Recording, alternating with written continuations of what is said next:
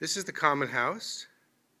As you can see, great big dining room, room for everybody to eat. Piano. Great big kitchen.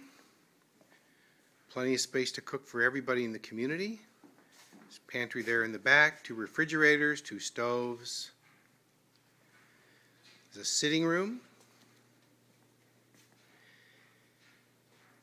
Two bathrooms in the common house.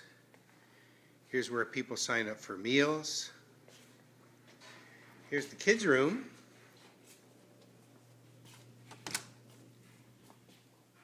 Stage, lots of fun stuff for kids. Look like they've been building forts lately. And then there's a upstairs sort of rec room with a TV and a pool table. And here's the laundry room. You can hear the laundry's getting washed and dried today.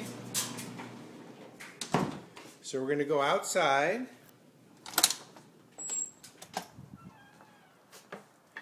And this is the shop, the wood shop. Uh, garbage and recycling enclosure. Paint shop. And then here's where all the cars are parked in the carport so they don't get in between the houses. And here's our unit right up here, right by the basketball uh, net. So we'll come around the other side and then we'll end the video. So here is our, oh this, oh this is the other part of co-housing. We call this the South 40. And here are the steps up to our place, which is for sale.